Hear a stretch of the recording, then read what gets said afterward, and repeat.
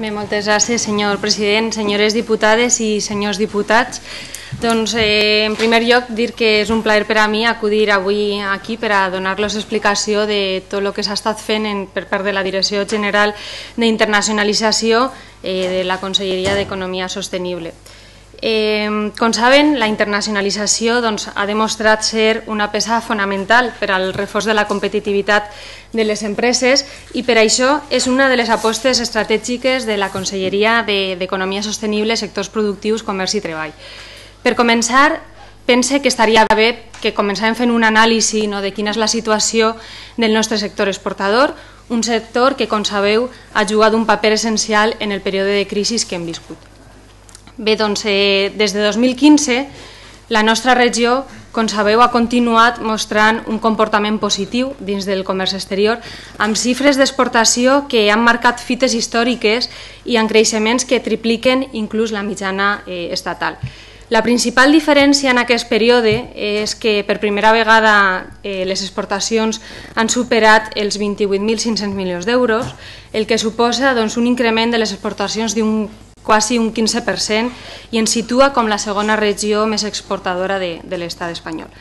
Pense que és un fet a destacar, perquè si ens comparem amb les principals autonomies exportadores, com és el cas de Catalunya o Madrid, aquestes creixen a un ritme del 6% en el cas de Catalunya i en un 1% en el cas de Madrid, eh, i en la mitjana de, de l'estat està un 4%. Així doncs, estem 10 punts per dalt de lo que és la mitja eh, estatal. Una altra fortalesa que tenim eh, l'economia valenciana, les empreses valencianes, és que som exemple d'un superàvit comercial. Exportem més del que importem i en aquest aspecte jo penso que cal destacar que som la segona comunitat autònoma eh, dins d'aquesta balança comercial positiva i que això, en això estem ajudant a compensar eh, la balança comercial de la resta de l'Estat. Pel que fa a aquest any, el 2016, doncs, com sabeu, fa uns dies van fer públiques els resultats del primer semestre de les exportacions i aquestes van, van ascendir a 15.345 milions d'euros, eh, la qual cosa representa un increment, comparant-lo en l'any 2015, de quasi un 9%, un 8,9%. Eh, mentrestant, les exportacions espanyoles eh, en el mateix període han estat creixent en un 2,3, vull dir que encara continuem sent exemple de dinamisme eh, exportador. El que venia dient és això, no? que som un referent i el que hem de fer i el que estem fent és ajudar a que aquestes xifres no només es mantinguen, sinó que continuen augmentant com ho estan fent en aquest 2016. Com es deia al principi en la meva intervenció, el suport a la internacionalització de les empreses és una prioritat per a la Conselleria d'Economia Sostenible, Sectors Productius, Comerç i Treball i d'aquesta tasca s'encarrega tant la Direcció General d'Internacionalització, que tinc l'honor de dirigir, com l'Institut Valencià de Competitivitat Empresarial, l'IBACE, i, i on també ostenta el càrrec de directora adjunta. Com ja coneixeu, doncs l'IBACE és l'instrument de la Conselleria d'Economia Sostenible per al reforç de la competitivitat empresarial a través de diferents àrees, una d'elles, a banda de la eficiència energètica, la innovació, el sol industrial, és la internacionalització, de la qual eh, jo estic al capdavant. El compromís del Consell eh, d'ajudar i recolzar les xicotetes i mitjanes empreses pel tal de ser més competitives i fer que els seus productes siguin reconeguts a l'estranger ha de, mater ha de materialitzar-se doncs, en mesures concretes i en un augment dels recursos destinats al desenvolupament d'aquesta aposta estratègica. Per això, eh, la Conselleria d'Economia Sostenible, Sectors Productius, Comerç i Treball, a través d'Issa Direcció General d'Internacionalització i d'IBACI Internacional, doncs estem desenvolupant, desenvolupant perdó, una estratègia basada en mesures i iniciatives per aconseguir que el major nombre de pimes de la comunitat aposten per la internacionalització. Un element, com sabeu, necessari junt a altres com la innovació si volem continuar creixent. Són les pimes, com sabeu, els grans motors de, del nostre país, no? i és que eh, estes primer necessiten consolidar-se per a poder després créixer i mantenir-se com a referents. El nostre teixit empresarial està compost en un 90% per pimes. Per tant, són les xicotetes i mitjanes empreses les que han de ser les protagonistes dins d'aquestes mesures que estem adoptant en termes d'internacionalització. Els objectius d'aquesta aposta estratègica d'internacionalització de 2016 a 2020 del Consell està agrupada en cinc objectius principals, dels quals eh, m'agradaria primer enumerar i després anar explicant dins de cada un dels objectius quines són les accions concretes que estem eh, portant a terme i que hem desenvolupant durant aquest any i mig de treball. En primer lloc, el primer objectiu és el de treballar una per augmentar i diversificar la nostra base exportadora, fent una que s'inicien encara més empreses en aquesta activitat eh, d'exportació i a banda de començar a que n'hi hagi més empreses que, que estiguen exportant, trobar nous sectors que siguin objecte d'internacionalització. És a dir, no només el nombre d'empreses que estan exportant, sinó que també siguin més sectors els que aposten per anar a aquests mercats exteriors. El segon objectiu és recuperar el suport en destinació a les empreses exportadores a través de la reconstrucció de la xarxa exterior de la Generalitat. Com sabeu, eh, eh, ara vos explicaré quines han sigut les accions en aquesta línia, però tenim presència en diferents països gràcies a diferents delegacions i antenes. El tercer objectiu eh, dins d'aquesta aposta estratègica d'internacionalització està en diversificar les destinacions de les nostres exportacions. En el primer objectiu teníem incrementar el, el nombre d'empreses i els sectors, però també a on anem a vendre, perquè així també estem eh, diversificant el risc a l'hora de que n'hi hagi problemes geopolítics internacionals i que puguen estar afectant a aquests mercats on estem destinant la nostra exportació. Com a quart objectiu tenim atraure al nostre territori inversió que genera riquesa per al nostre país. I com a últim objectiu eh, tenim una aposta clara per la formació especialitzada dels nostres joves en internacionalització i aconseguir-los a, a que tinguin una, una ocupació dins d'aquestes necessitats que tenen les empreses de trobar un capital humà realment format en matèria d'internacionalització. Bé, com he dit, són cinc els objectius de, dins d'aquesta aposta d'internacionalització per part del Consell i ara m'agradaria aprofundir dins de cadascú per explicar quines són eh, les accions que estem portant a terme.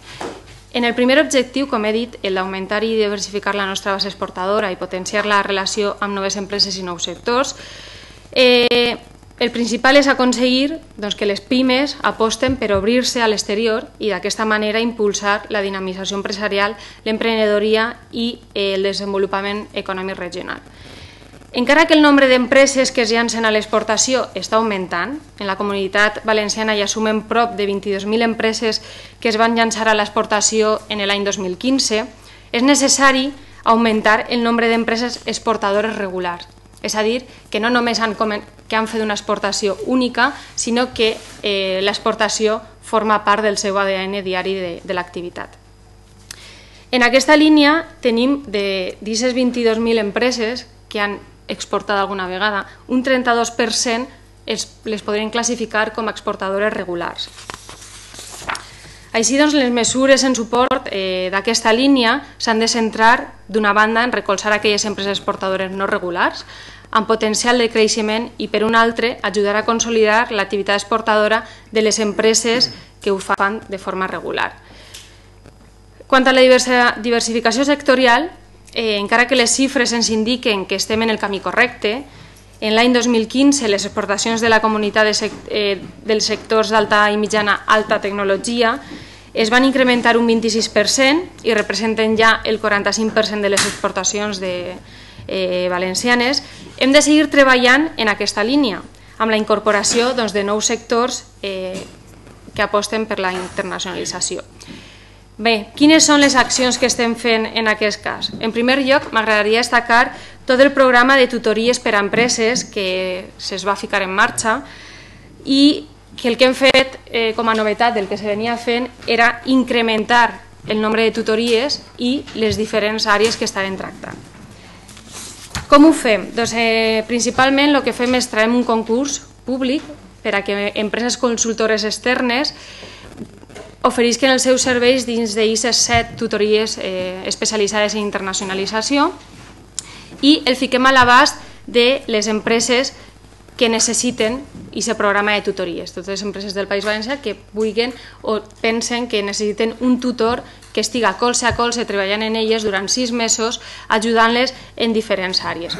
Sí que m'agradaria destacar aquestes àrees que, com sabeu, i podeu consultar a, a la web, es tracta de tutories especialitzades en, en fomentar aquesta estratègia de màrqueting digital internacional, tutories eh, que van en, focalitzades en tractar el tema de, de les licitacions internacionals, al igual que ja ho estan fent a nivell estatal, ajudar a empreses valencianes que puguen anar a licitacions internacionals.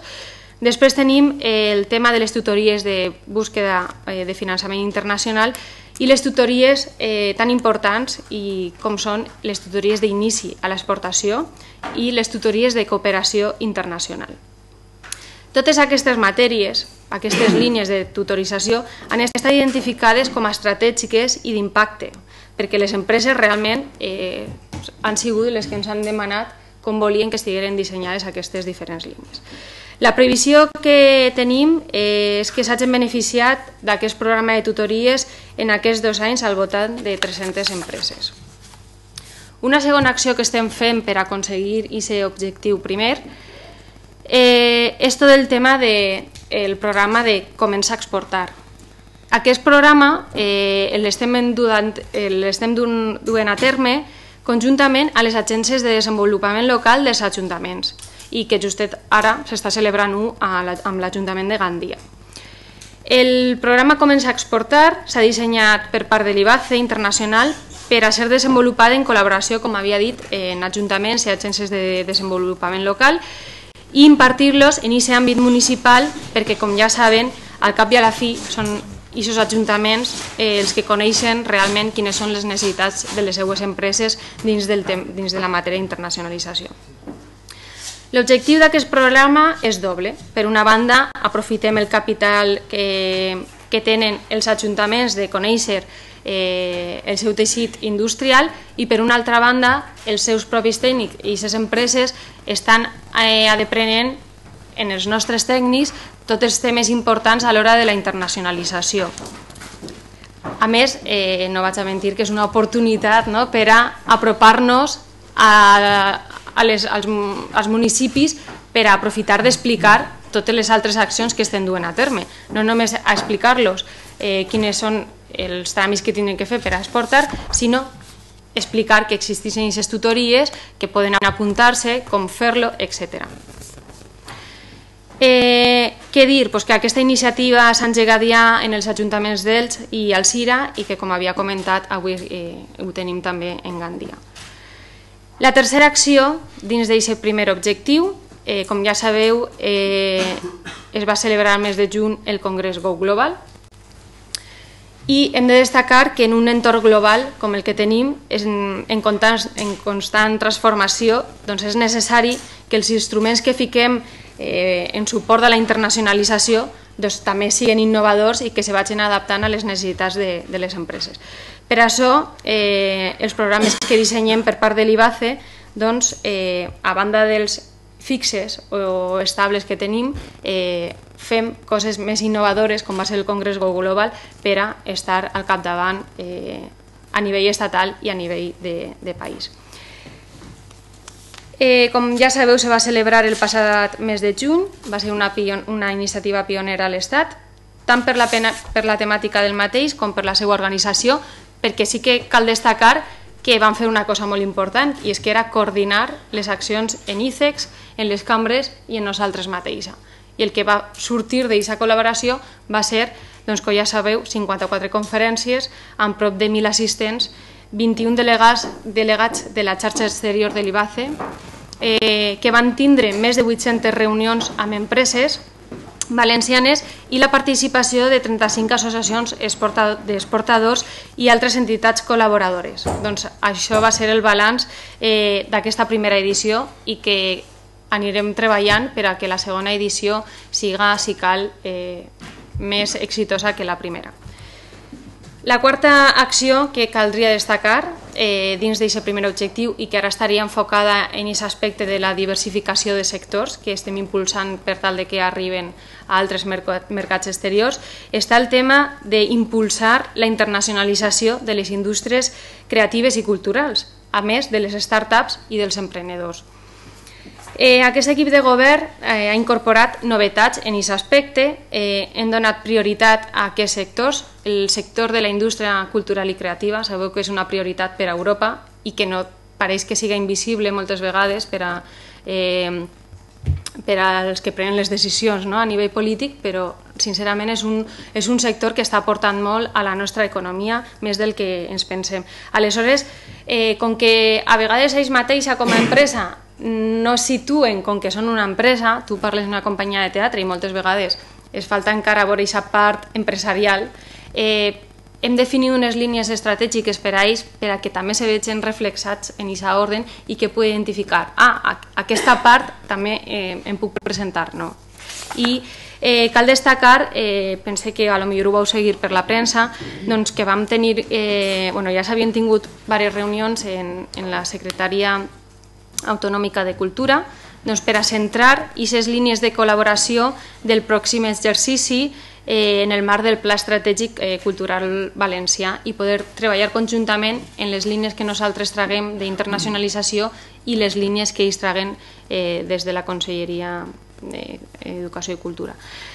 Eh, com estem recolzant per part d'IBACE Internacional aquestes accions? Pues sí que m'agradaria destacar diferents eh, coses que han vingut fent durant aquest any i mig. Eh, entre aquestes accions tenim les jornades d'internacionalització del CIR valencià en el 2015, la segona trebada internacional de literatura infantil i juvenil, la trobada internacional entre agents del sector de les arts escèniques, el setè Congrés Internacional de Tipografia de València i també està previst recolzar la pròxima trobada de l'IETM a València i per això organitzarem una missió inversa d'operadors al Festival de Dansa al mes de desembre. Així mateixa, pel tema de les startups, també estem treballant. Eh, estem treballant conjuntament en els CEIs, en el Parc Científic de la Universitat de València, en la Fundació IDES de la UPB, en Indea València i l'objectiu doncs, és intentar conèixer quines són les inquietuds i les necessitats d'aquestes eh, empreses eh, de base tecnològica i els emprenedors dins de les necessitats d'internacionalització. Eh, M'agradaria destacar la propera missió que tindrem en Lisboa, que els acompanyarem a la Fira Web Summit eh, d'ací unes setmanes i que sense el recolzament que els estem aportant doncs, eh, dubte molt que haguem pogut assistir. Ara eh, passem ara a aquest segon objectiu, no? eh, que si recordeu doncs, feia eh, èmfasi en reforçar el suport que estem oferint a les empreses valencianes a els mercats exteriors però físicament, vull dir, estar construir una xarxa exterior on tenim, tenim a persones treballant eh, 100% per a les empreses valencianes detectant oportunitats de negoci, eh, treballant per als sectors eh, a través de, de les associacions i detectant clients, potencials clients o potenciants missions eh, on poder anar i presentar els nostres productes. L'aposta del Consell, només arribar, eh, va ser eh, recuperar la presència a l'exterior amb la reconstrucció d'aquesta xarxa eh, pròpia eh, que tenia l'IBACE, antic eh, abans IBEX, en els diferents mercats internacionals. Quan vam arribar només n'hi havia tres delegacions actives i eh, han treballat durant aquests mesos per a tornar a ficar en marxa tota aquesta sèrie de delegacions i antenes. Quin és l'objectiu de tot això? Doncs, com havia dit, és defensar els interessos comercials de les empreses valencianes i, sobretot, oferir-los un suport útil i real perquè aquestes puguen seguir ampliant la seva presència en aquests mercats exteriors. Eh... M'agradaria, si voleu destacar quines són aquestes oficines, encara que pues, podem consultar-les en, en la web. Actualment hi ha 23 oficines i les separem entre delegacions i antenes en funció de si considerem que són mercats prioritaris o si pensem que són mercats emergents. Pel que fa als mercats prioritaris, podem destacar les oficines que tenim en Xina, eh, Rússia, Marroc, en Estats Units tenim dos, una a Nova York i una altra a Miami, Tenim seu en Colòmbia, Brasil, Turquia, Polònia, Regne Unit, Perú, Alemanya, Algèria, Sud-àfrica i la de Mèxic, que com sabeu se va inaugurar el dia 1 de setembre.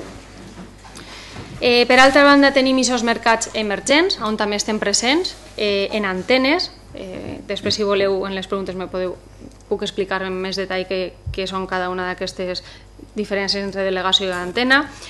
I tenim les antenes eh, existents en Angola, Corea del Sud, Hong Kong, Panamà i les recentment incorporades d'Austràlia, Malàsia, Indonèsia i països nòrdics que donen resposta a les necessitats que puguen haver en Suècia, Noruega i Dinamarca.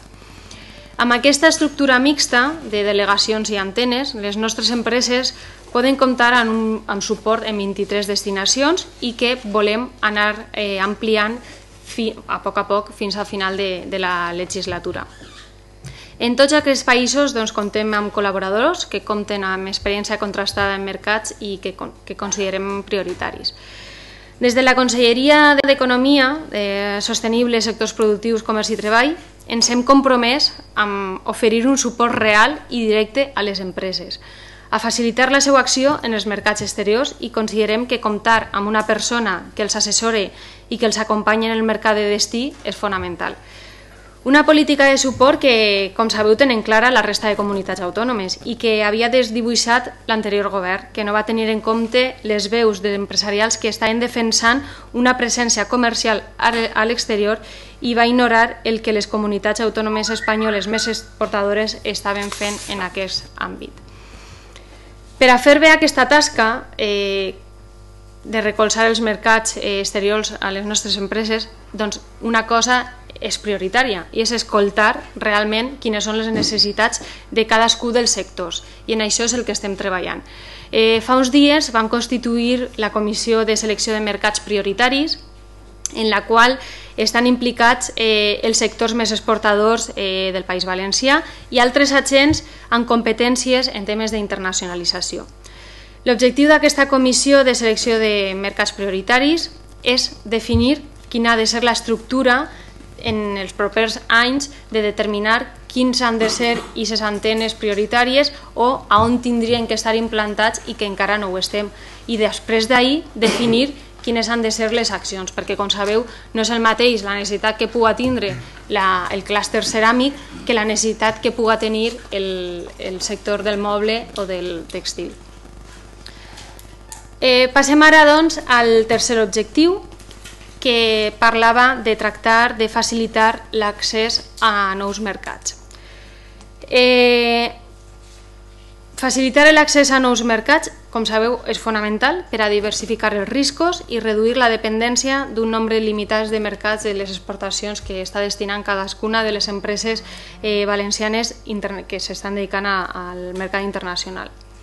Si les exportacions estan diversificades, com sabeu, és més fàcil compensar les reculades que puguen haver d'un mercat en unes ventes i anar-nos a centralitzar l'esforç en un altre mercat. Eh, per aquesta part, és important definir una estratègia d'accés a, mercat, a mercats d'alt potencial de creixement, als que lligar eh, aquestes majors oportunitats d'increment de les exportacions.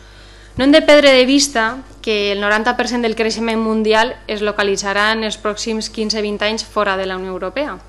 Per això, la diversificació geogràfica ha de seguir sent una de les nostres grans prioritats eh, per part de la Direcció General i d'IBAC Internacional. En els últims anys hem avançat en la diversificació de la destinació de les nostres exportacions, ampliant la quota de venda que es dirigís al continent asiàtic asiàtic, americà i africà. Eh, encara així, doncs, en l'actualitat, com sabeu, eh, Europa representa un 70% d'aquestes exportacions que se destinen de, per part de les empreses valencianes. Així que considerem necessari seguir apostant per l'obertura de nous mercats i, i en aquesta línia podeu veure tot el pla de promoció eh, exterior que en aquest any eh, s'ha celebrat vora 100 accions molt concretes i que eh, costaria molt d'enumerar així, però que sí que vos convide a que accediu a, a la web i que aneu eh, mirant cadascuna d'aquestes accions. Generalment aquestes accions eh, tracten en missions inverses que fem de potencials importadors de sectors molt concrets o, o a vegades també se poden fer, moltes vegades se fan multisectorials ens centrem, per exemple, doncs, anem a parlar del, eh, de la potencialitat que puga tenir el mercat d'Iran. No? Ara mateix sabeu que vam estar en empreses valencianes visitant eh, el país, doncs una possibilitat dins d'aquestes accions és fer una missió inversa que puguen vindre eh, importadors eh, iranis a visitar eh, les empreses valencianes d'ací i el que fa és trencar aquesta barrera de cost que pot suposar per una empresa valenciana fer un viatge a aquest país en quan ha visat cost, desplaçament personal que parla anglès, etc. Doncs bé, eh, dins d'aquest pla de promoció exterior, com us havia dit, eh, n'hi ha 100 accions. Actu ara mateix, aquesta setmana, estem en Dublín, en 10 bodegues valencianes, eh, venent què som i què sabem fer dins de, del producte com és el vi i que de segur serà molt interessant per a aquestes 10 bodegues que estan aquesta setmana fent negoci a Dublín. Com a novetats en 2016 m'agradaria destacar l'augment de les accions dirigides a sectors emergents, la, pro la prospecció de nous mercats com Filipines, Iran, Sud-àfrica o Indonèsia i el reforç d'accions per a impulsar la contratació pública internacional. Eh, com havia destacat ja el pla d'emissions inverses, no vaig a, a, a ficar-me més ahir, després si teniu més preguntes les puc contestar. Eh, Després destacar també com l'actual equip de govern ha incrementat el pressupost destinat a les ordres d'ajuda i préstecs al 0% d'interès per a recolzar el desenvolupament del pla d'internacionalització de les empreses. En 2016 hem augmentat en un 7,6 l'import destin destinat a les ajudes econòmiques que recolzen el desenvolupament dels plans d'internacionalització i hem passat de 6,5 milions d'euros a 7 milions. A més, entre les, entre les novetats, doncs, eh, destacar l'ordre d'ajudes als plans d'internacionalització de les empreses de la Comunitat Valenciana, que hem dotat de 5 milions d'euros i que compta amb finançament FEDER i que eh, bé, eh, espero que en, un, en breument ja puguen estar publicada la convocatòria i, i que les empreses se puguen acollir a, a aquestes ajudes. Pel que fa als préstecs, també han recolzat els plans d'internacionalització a les empreses de la Comunitat Valenciana amb una dotació de 500.000 euros, on, com que ja estan concedides i que puc fer un balanç de com ha anat, eh, hem concedit de nou eh, préstecs per a empreses valencianes d'un total de 24 projectes presentats i hem donat un finançament màxim de 60.000 euros. També sabeu que el dia 21 de setembre se va publicar l'ordre de la Direcció General d'Internacionalització de suport a la participació de les fires eh, sectorials a nivell internacional que compta amb una dotació de, inicial d'un milió i mig i esperem si se pot ampliar eh, eh, breument, una mica més o, o no. M'agrada aquest increment, jo crec que em toca defensar no, que sempre és necessari eh, la necessitat d'augmentar aquest pressupost les empreses de la Comunitat Valenciana han assistit al descens gradual dels pressupostos destinats a aquestes ordres d'ajudes eh, ja des de 2010 i que des de 2015 la intenció ha sigut d'anar incrementant eh, any, en aquest any doncs, eh, les partides que han anat destinades eh, a tot el tema de la internacionalització. Eh, una vegada hem vist que és necessari augmentar el suport econòmic, doncs continuem amb el quart, el quart objectiu. Eh, havia comentat al principi que aquest objectiu es tracta de treballar per a que tinguem un capital humà preparat, format i que siga d'utilitat per a les empreses valencianes que estan dedicades a internacionalització. Quan parles en les empreses, realment eh, moltes d'elles sí, que te, sí que comenten que s'ha de fer un, que, que s'ha de treballar no? per a que el, el capital humà que tenim que estiga 100% familiaritzat en el que és el món de l'exportació i que als joves d'avui en dia no es dona por agafar maleta i anar a visitar aquests països com no es va fer por a, a, als nostres avis. No? Eh, així que, com no dir que aquesta també és una de les apostes i una de les prioritats de la conselleria. Eh, com sabeu, dins de la conselleria també està l'aposta clara per aquesta creació d'ocupació, una creació d'ocupació que ha de ser estable i en àrees professionals de futur, com és aquesta, com és el, el comerç internacional. I en aquest cas doncs, estem impulsant i potenciant el programa de beques de formació especialitzada en internacionalització i que el que pretén és millorar la empleabilitat dels joves formats en aquesta àrea. I, com havia comentat, és que realment és una de les demandes de les empreses valencianes. M'agradaria destacar que eh, en el 2014 teníem 24 beques, al 2015 van tenir 30 i al 2016 han tingut 100 beques. Eh, L'objectiu que tenim és acabar eh, formant un total de 800 becaris al final de la legislatura i eh, jo crec que algo que no s'està dient i que estem fent bé és que som els primers que hem apostat per la formació professional. Com sabeu, ICEX també està, o està oferint unes beques similars, però que només se focalitzen en els llicenciats universitaris quan nosaltres també estem apostant per aquesta professionalització de la formació professional i aquesta qualitat. Aleshores, eh, d'aixes en beques, eh, recordar que 30 de les beques han sigut destinades per a joves en formació professional. El que fan aquestes beques és que doten a, als beneficiaris d'una ajuda de 12.020 euros més el complement de destí, perquè en funció de on estiguen destinats eh, tindran un, complement major o, o menor i el que fan és eh, estar en, en aquestes antenes o delegacions que tenim, també estan eh, treballant en col·laboració en delegacions d'empreses valencianes instal·lades en altres mercats i estan formant-se en què és això d'exportar, importar i de treballar en un mercat diferent al valencià. Cal destacar que bé, aquestes beques estan confinanciades al 91,89% en el marc de la iniciativa d'ocupació juvenil de la Unió Europea a través del finançament dels fons socials europeus. I com havia dit, jo crec que cal destacar que som la comunitat autònoma que més està apostant per un programa d'especialització en internacionalització i que anem a tenir el millor capital humà per a fer-lo. Em comentava, eh, avui s'està celebrant unes jornades en Bilbao, en el nostre homòleg no, del País Basc, i que ara ells estan apostant en aquesta línia. Nosaltres hem sigut pioners, eh, hem apostat primer eh, en incrementar i, i jo crec que és, que com havia dit és una de les apostes que tenim que continuar treballant. Finalment, eh, l'últim eh, eh, objectiu que pensa que és un dels més prioritaris per a nosaltres, és atraure la inversió estrangera directa però que genere riquesa al País Valencià. Eh, hem de desenvolupar polítiques que contribuïsquen doncs, a la recuperació i al desenvolupament d'activitats industrials, comercials i de serveis que dinamitzen l'economia regional i promoguen la creació d'ocupació. Així que això és una, una prioritat en aquesta eh, conselleria. L'atracció d'inversió estrangera a la comunitat valenciana és un dels eixos fonamentals d'aquestes polítiques mentre eh, suposa una via d'estímul del creixement econòmic i una millora de la nostra imatge en l'entorn internacional. Captar i mantenir la inversió estrangera productiva en la nostra regió és primordial per afavorir el seu desenvolupament econòmic.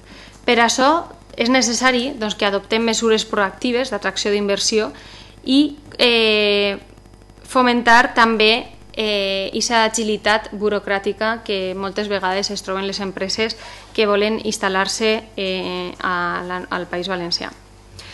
Com sabeu, en aquesta línia s'està treballant de manera intensiva per a potenciar aquesta atracció de noves inversions i incrementar les xifres d'inversió estrangera obtingudes en les passades eh, legislatures i eh, adoptant una sèrie de mesures que aniran una encaminada a l'atracció de projectes empresarials, a promoure la, reg la regió eh, en destinacions estratègiques per a nosaltres i a impulsar la col·laboració amb empreses estrangeres ja implantades en la comunitat valenciana, a més de fomentar la coordinació entre tots els departaments de l'administració autonòmica i local implicats per a afavorir aquesta inversió. Jo crec que no fa falta dir doncs, que la principal barrera que s'enfronten les empreses a l'hora d'iniciar l'activitat empresarial és la burocràcia generada per la pròpia administració i així com la falta d'una finestra única de gestió dels seus projectes. Per a posar solució a aquest problema, estem treballant en l'esborrany de l'avantprojecte de llei d'impuls a la inversió i creació del Valencian Investment Desk. Aquesta, eh, això el que pretén és crear una oficina de coordinació i d'impuls de projectes empresarials que fomente i facilite la inversió i la creació d'ocupació en la nostra regió. Una mesura que el que va és afavorir la, simplific la simplificació administrativa i la constitució d'una verdadera finestra única de suport a l'inversor que oferisca assessorament, tramitació i seguiment dels seus projectes i que es traduirà finalment en una reducció de, tem de temps i cost econòmic per a l'empresa. En aquesta línia doncs, es va constituir equips de treball integrats tant per agents del sector públic com del privat que es troben involucrats en alguns aspectes de l'inici de l'activitat empresarial. Aquests grups de treball tindran com a, tenen com a finalitat detectar les necessitats de les empreses a l'hora d'encometre de, un projecte d'inversió, identificar els tràmits als que s'enfronten i avaluar la manera de simplificar-los, per tal de tot això que detectem poder plasmar-lo posteriorment en aquest avantprojecte de llei. Amb això es persegueix aconseguir doncs, una major coordinació i consens en les actuacions i aglutinar el coneixement de tots els agents implicats, donant una millor resposta a les necessitats de les empreses locals, nacionals o estrangeres. A més, amb la finalitat de millorar les xifres d'inversió estrangera productiva cap a la nostra regió, hem d'adoptar mesures proactives d'atracció d'inversió, així com fomentar la, la col·laboració amb les empreses estrangeres que ja estan implantades en la nostra comunitat. Eh, exemple d'això és la campanya intensiva de promoció que van fer de, de la comunitat valenciana focalitzada en el sector químic i que se va celebrar en Alemanya el passat mes de juny, en la, bueno, en la ciutat de Düsseldorf, i actualment estem treballant una campanya en Google AdWords en, en el mercat alemà aprofitant eh, aquesta jornada, bueno, tot aquests mesos de treball que se van fer i aquesta jornada en el mes de juny, oferim eh, a, a la comunitat valenciana com una regió atractiva per a la inversió. Així doncs, eh, quan s'accedisca des de Google en Alemanya, sabeu que apareixen de vegada en quan aquests anuncis eh, eh, motivant no? que, que València està ahí, que la comunitat valenciana està ahí i que quan cliques te dona una explicació de per què, com i com podem ajudar a que aquesta inversió se pugui fer a, a, al nostre país. Per la meva part, jo crec que res més. Eh, com podeu veure, són molts els objectius que tenim i moltes les línies d'actuació que hem vingut desenvolupant, però això no vol dir que ens quedem ja tranquils en el que estem fent, sinó que anem a continuar treballant per a incrementar aquest, a aquest esforç i eh, jo quedo a la vostra disposició per a si teniu alguna pregunta que fer o aclariment. Bé, moltes gràcies per les aportacions. Eh, vaig a intentar anar agafant cada una del, del, de les preguntes que m'han llançat perquè m'ho vull anar preparant per separat. Eh, és eh, la primera vegada que vinc, disculpeu. Eh, si voleu, eh, si me deixa, intentaré no deixar-me res. Si voleu, comencem pel tema de l'avaluació de les polítiques públiques, perquè és un, imagina que per de formació professional és una de les coses que, que m'apassionen no? I, i efectivament pense que tota administració pública tindria que fer balanç de com s'estan aplicant aquestes polítiques públiques i quin és l'impacte real que estan generant. Eh, malauradament, per a fer això hem de tenir estadística Aleshores, primer hem de generar eh, el, tot el recull que s'està treballant en això. Vull, dir, vull avançar-vos que això és una de les línies que s'està portant per part del Consell, per part de la Conselleria d'Economia. Eh, hem de replegar les dades per poder analitzar i avaluar. Eh, el tema de, de a l'hora de decidir cap a on anem i què fem i aquestes delegacions de les que estàvem comentant, quines anem a obrir i per què, Ara mateix el que estem fent, com que no podem avaluar aquestes polítiques públiques per ara, eh, el que té sentit comú és preguntar als agents implicants eh, que estan en aquesta presa de decisió, com havien eh, ben dit, que són les empreses. Elles saben cap a on volen anar i què és el que necessiten per anar a aquests mercats.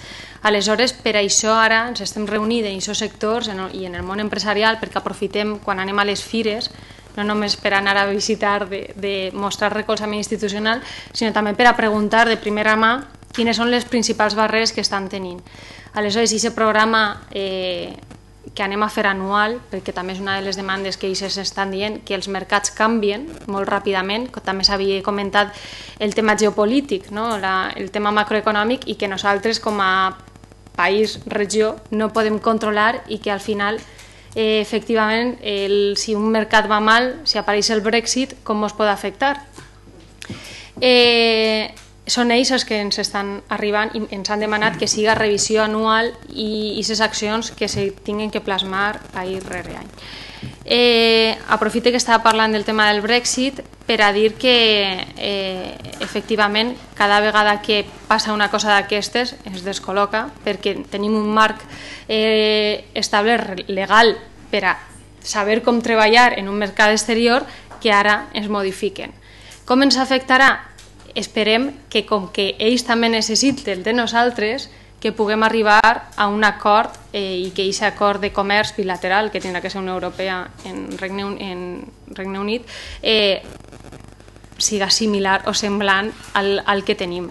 Eh, esperem estar ahí i nosaltres estarem, eh, espero que tots els partits polítics estiguin defensant els interessos de les empreses valencianes i dels valencians eh, el dia que se tinga que decidir. Eh,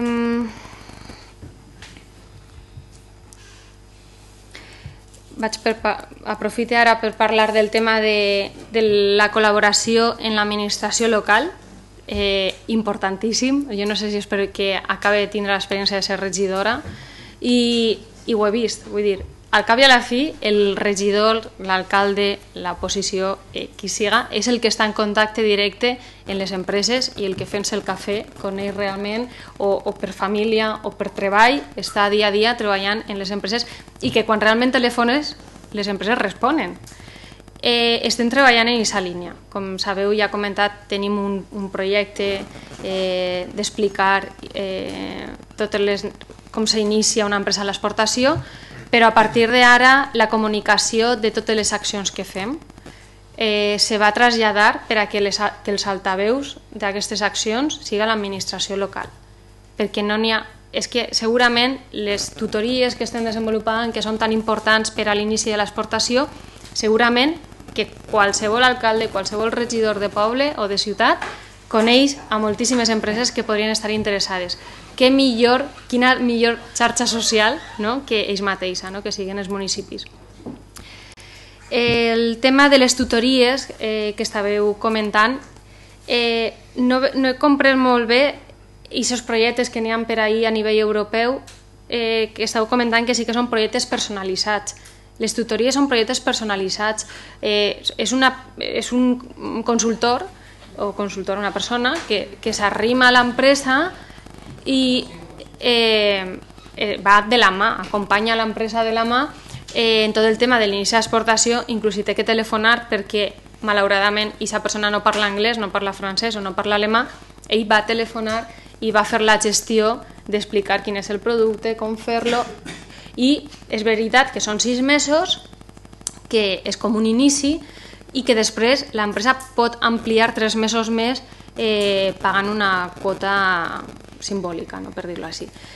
Eh, aprofite perquè després del finalitzar aquesta tutoria estem explicant que existís eh, les subvencions que eixiran ara en les ordens, de les de 5 milions d'euros d'IBAC internacional, de la contratació de personal per al Departament d'Exportació.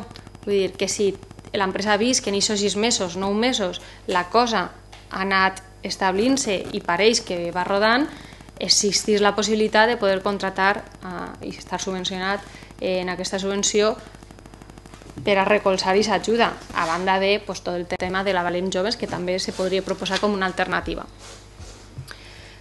Però bé, són qüestions a analitzar. Tal volta detectem que les empreses necessiten un altre tipus de, de necessitat. Però per ara, aquestes tutories individualitzades estan funcionant bé.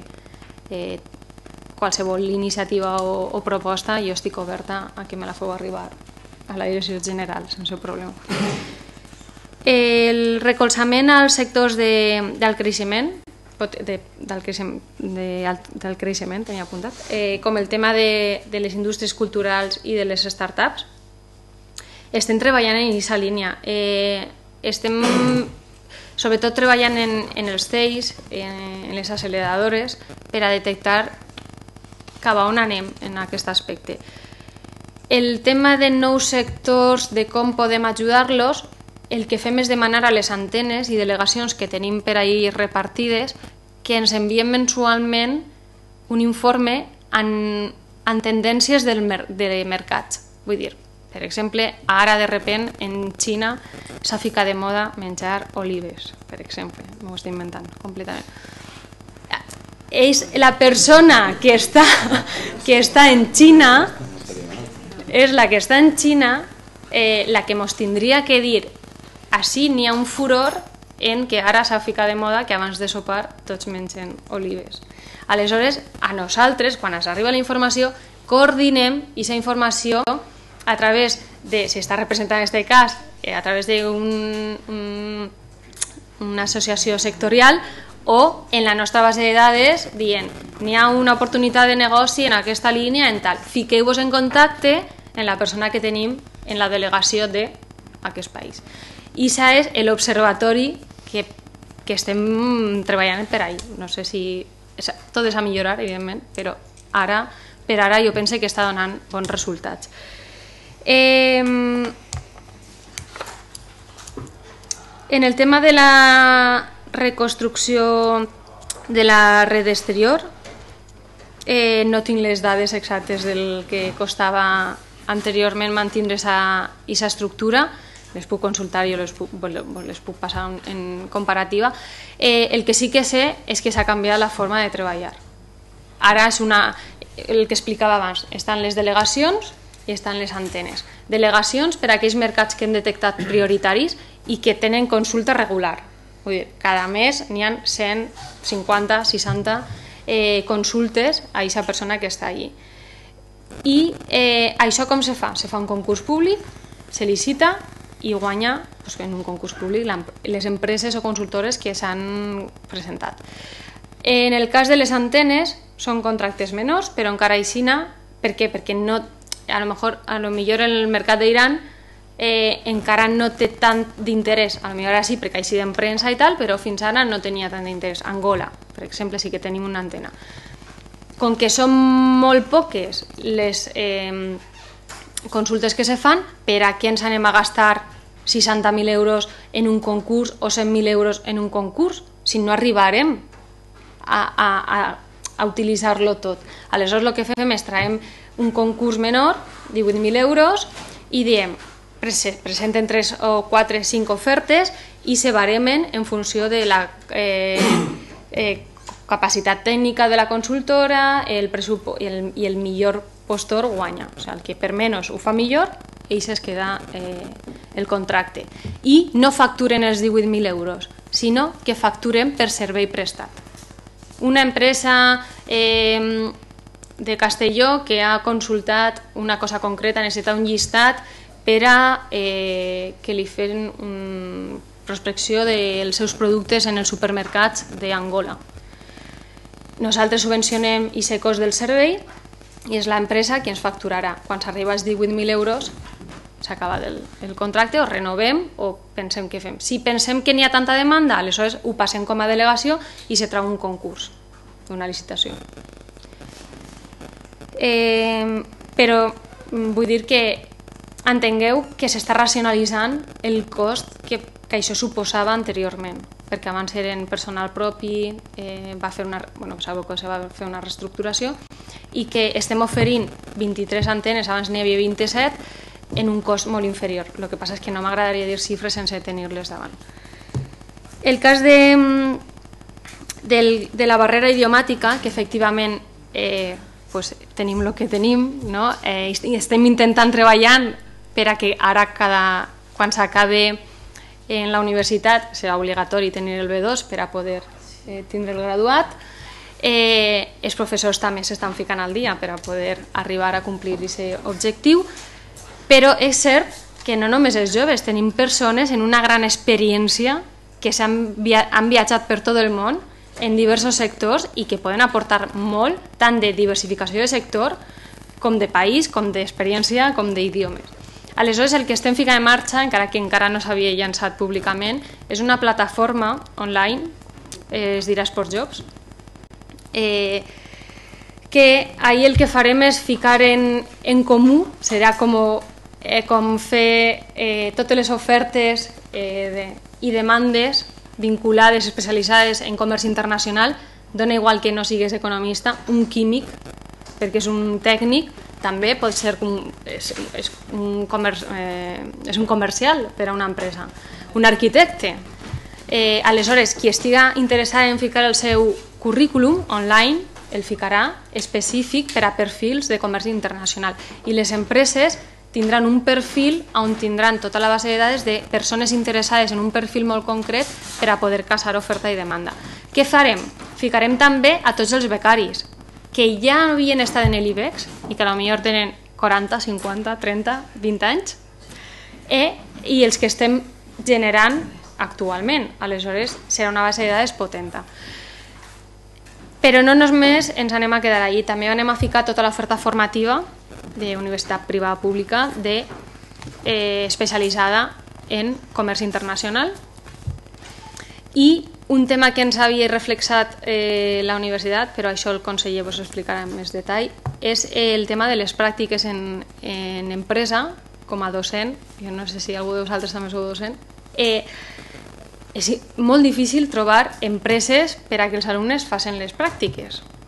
Aleshores, també hi una plataforma web per a que les empreses puguen ficar ahí proposta de pràctiques empresarials.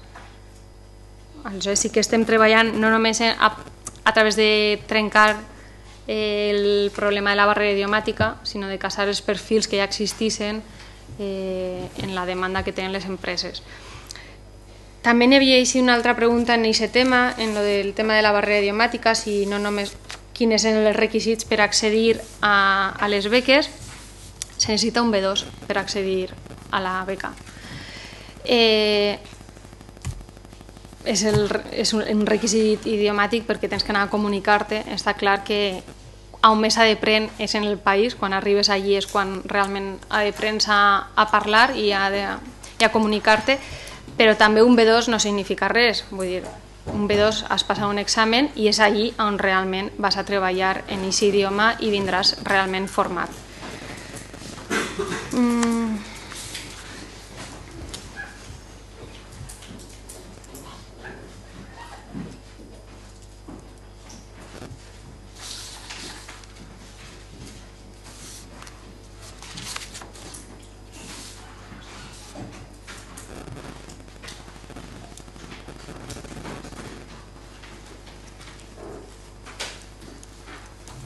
Jo crec que només me queda el tema de la BIT, ja, si, si voleu passar a explicar el tema d'aquesta oficina.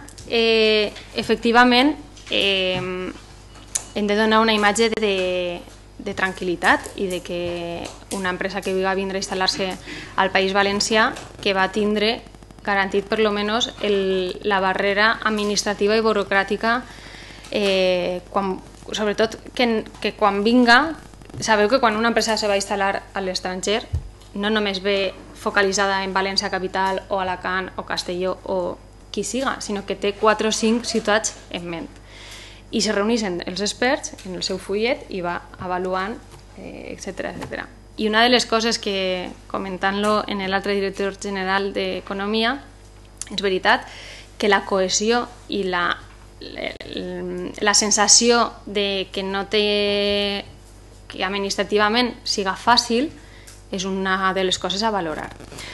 Això és el que aquesta agència, agència no, aquesta finestra única eh, és el que vol fer, donar coherència i, i facilitar tota la burocràcia interna. Aquesta agència, el que, eh, perdó, el nom d'agència, aquesta finestra única el que farà és, eh, actualment, efectivament, teníem tres persones dedicades al tema de, de la captació d'inversions, però que estava anant eh, sense estar coordinat en la resta de conselleries. Aleshores, això el que feia és que quan una empresa volia instal·lar-se tenia que anar a Conselleria de Medi Ambient, tornava així, anava a Patrimoni, al final ja no sabien què havia parlat, ja no sabia què, descontrol eh, burocràtic. Aquestes tres persones seran les encarregades de portar aquesta finestra única i seran les gestores de l'expedient. I elles seran les que contactaran Conselleria d'Agricultura, contactaran Patrimoni i a l'empresa només se li telefonarà per dir això està així, això està sa, faltaran 5 dies, d'ací 10 dies, 15 dies, porta'm este paper. Només n'hi ha un interlocutor. Què hem fet eh, per a ficar-lo en marxa? N'hi havia un borrador, ara el que hem fet eh, a l'arribar jo ha sigut una reunió en tots els eh, subsecretaris de totes les conselleries perquè no podem agilitzar un tràmit sense saber quins són els tràmits. I hem ficat en comú que cada conselleria ens diga realment què és el que està demanant quan una empresa s'instal·la des de la seva conselleria. Una vegada els tenim detectats, anem a discutir, a parlar sobre com podem reduir-los dins de la legalitat, perquè després tindrem que modificar una llei que reguli aquest procediment. Si el que volem dir és que quan un projecte entre com a prioritari siga àgil, tindrem que saber si hi ha una exposició d'un mes, eh, de, no sé, públicament d'un mes, tindrem que dir pues, si és un projecte BIT, serà de 10 dies. I després hi ha una llei que tindrem que modificar en funció d'això. Aleshores, ara estem en aquest mm, en aquest pas no? de, de trobar quins són tots els procediments que s'estan demanant. A banda, mentre ens eh, estan arribant les, la informació, aquest divendres marxem a Múrcia per a parlar en, en ells, per a veure com està funcionant la seva finestra única, que s'explique si realment ha servit o no per a reduir aquesta barrera i tindré una, altre, una altra perspectiva. A banda, efectivament, no podem anar a soles en això. Eh, en anglès se diferencia molt el del Schuld, el Kudel i el Mast. ¿no? En castellà o en valencià és més difícil de diferenciar. Eh, no deuríem, no? anem a deixar-lo ahí, no deuríem d'anar eh, a soles. No té sentit eh, que, que nosaltres des d'ací desenvolupem una llei per a agilitzar el procés i quan, quan arriba a l'Ajuntament se queda ahí encasquillat sis mesos. Aleshores, eh, l'altre pas és estem eh, ja intentant fer reunions en els ajuntaments més mm, potencials, no per dir d'alguna forma, perquè tenen que establir convenis de col·laboració.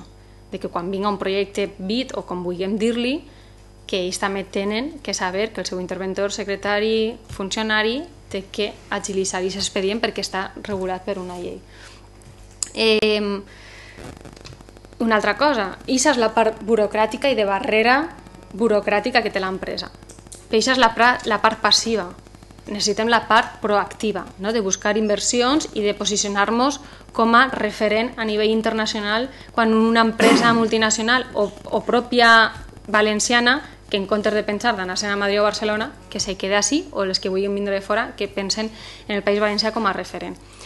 Per a ser proactius no només necessitem de l'administració pública, necessitem d'altres agents que estan involucrats en, en contacte amb les empreses. Les mateixes empreses que ja estan instal·lades han de fer d'altaveus, les cambres de comerç, jo penso que també tenen relació amb les empreses i tindrien que fer d'altaveu. Eh, qualsevol entitat que tinga vinculació en el món empresarial i els ajuntaments, efectivament, a banda de la nostra finestra única, de portar aquesta estratègia de cap a on volem anar, de posicionament, d'anar a, a fires internacionals, de reunir-nos en l'estranger, en ambaixadors, en qui tinga que fer falta. Però tenim que anar tots de la mà en una mateixa imatge, en un mateix objectiu i que no cada un vaig explicant el seu dossier per separat. Efectivament, estem així per a captar inversions productives i que generen ocupació per a tots els valencians i valencianes. Eh, el cas de Puerto Mediterráneo eh, bueno, tots saben d'on ve i per què ha estat parat, eh, etc etc. Eh, mm, què hem de dir? Jo pense que ningú vol fer res que no siga legal. En el moment que se diga que una cosa és legal, ningú va ficar fre a una inversió que pugui generar llocs de treball. Si realment genera llocs de treball, eh, tindrien que veure-ho. Jo no he fet l'estudi per, per veure si realment eh, se generaran aquests 6.000 o 5.000 llocs de treball o si al final el que estem llevant d'un puesto per a ficar-ne un altre, però ahí no vull entrar. Que el que volia dir és que si un projecte eh, és legal i complís tots els requisits, jo crec que cap, perso cap persona de, de, de la conselleria ni del govern va dir que està en contra de que vinguen inversions. Eh, intentaré anar ràpidament.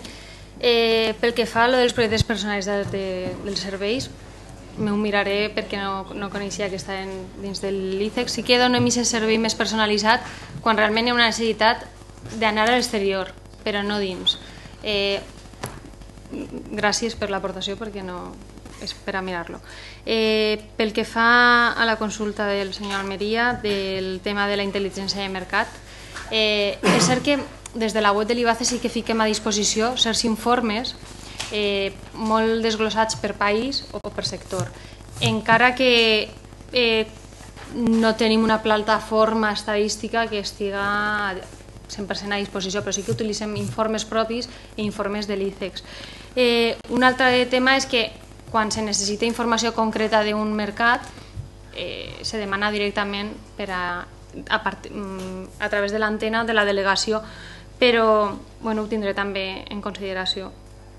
Eh, el tema de la presentació de la qualitat de les licitacions direm que, que també resta si n'hi ha una part de, que no és de qualitat front al preu, quan també eh, quan se barema no només mirem si costa 10.000 front a 30.000 euros o 20.000 euros la licitació, mirem també tot el que acompanya al dossier.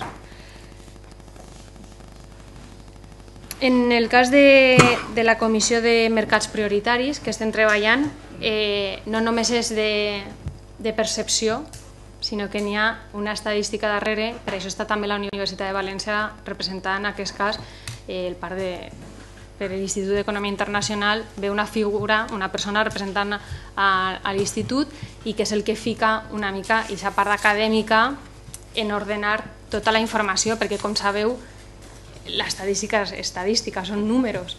Encara que eh, aprofite per a contestar una pregunta anterior, el cas dels mercats europeus com a prioritaris, és cert que una de les coses que ens diuen és que, és que nosaltres estem molt bé situats en França, per exemple, no hem deixa de perdre estar ben situats en França.